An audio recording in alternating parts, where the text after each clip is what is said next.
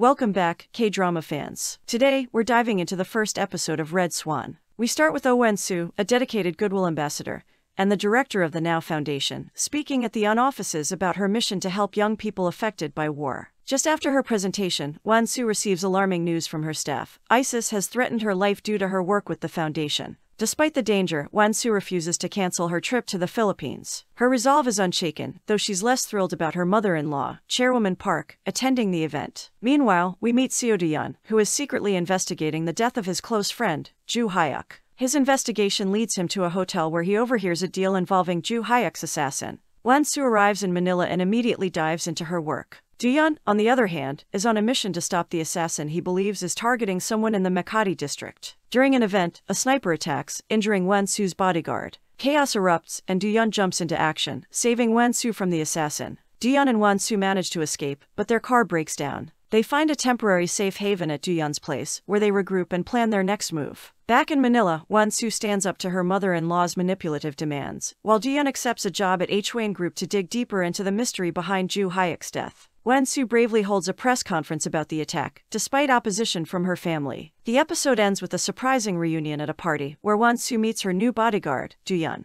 That's a wrap on episode 1 of Red Swan. Don't forget to like, comment, and subscribe for more recaps and reviews. See you in the next episode.